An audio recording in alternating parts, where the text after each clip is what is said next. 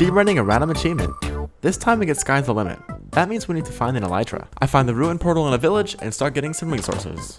Grab some beds to kill the dragon, some iron, some food.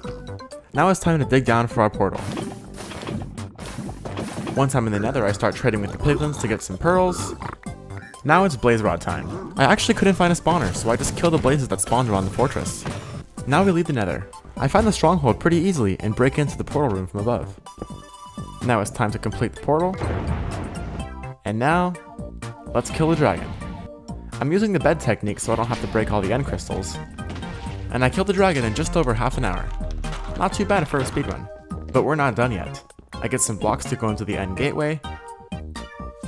And I find an end city with a ship almost immediately. I get all the blocks I can until my pickaxe breaks, tower up, and that's how I got an elytra in 36 minutes and 55 seconds.